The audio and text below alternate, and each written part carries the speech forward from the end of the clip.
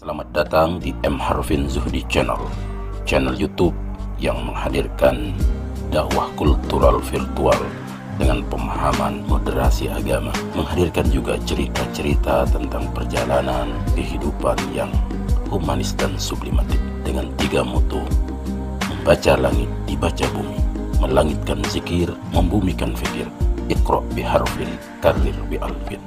Oke sahabat, Jangan lupa subscribe, like, share, and comment.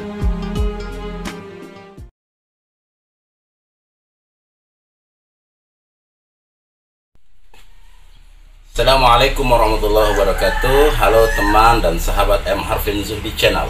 Kali ini kita akan mengikuti episode jawaban Kiai Said Agil Shirot Berkaitan dengan banyak simpang siur informasi di media sosial berkaitan dengan pernyataan beliau tentang kata wujud dalam Al-Quran. Kata wujud ini kemudian dipersepsi salah atau keliru oleh banyak pihak eh, dengan menyatakan bahwa Kiai Said mengatakan tidak ada Allah dalam Al-Quran. Nah ini kan sesuatu yang misleading, misunderstanding. Padahal kita tahu bahwa Kiai Said itu adalah seorang ulama, seorang fakih yang mutabakhir pemahamannya dalam ilmu-ilmu keislaman. Jadi mari kita memberikan respon, tanggapan maupun kritik kepada siapa saja tentu dengan semangat konstitusi ilmu. Kita harus melakukan verifikasi dan mengkritik, boleh mengkritik seseorang itu dengan basis keilmuan. Mari kita lengkapi eh, ilmu-ilmu keislaman kita dengan kawaid usul fikih, kawaid fikih dan maqasidus syariah.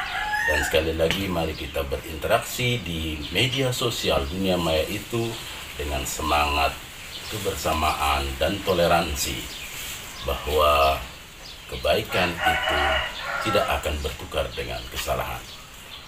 Peace man, wasulhu khair, salam moderasi makasih. Assalamualaikum warahmatullahi wabarakatuh.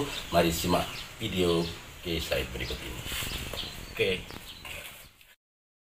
Nah, pandangan Pak Edi tentang ada dalil tidak ada dalil Al-Qur'an dalam uh, Al-Qur'an secara spesifik. Iya. Apa itu masalah wujud tadi? Iya, yang Mem- memang iya, memang iya. Iya, bisa. Memang iya. Karena banyak disalahpahami di media sosial. ya, bukan, bukan salah apa, sengaja dipotong itu. Iya, Gimana yang lengkapnya Pak dikit? fotokan Iya.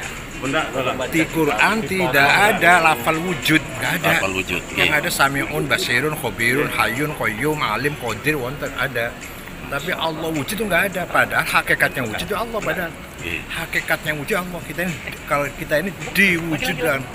Lagi lagi Hakikatnya yang ada Allah, kita ini diadakan. Diadakan. Tapi Allah secara eksplisit Allah wujud nggak ada di Quran itu. betul seperti sholat tadi nggak ada di, di Quran wajib sholat lima kali zuhur asar nggak ada.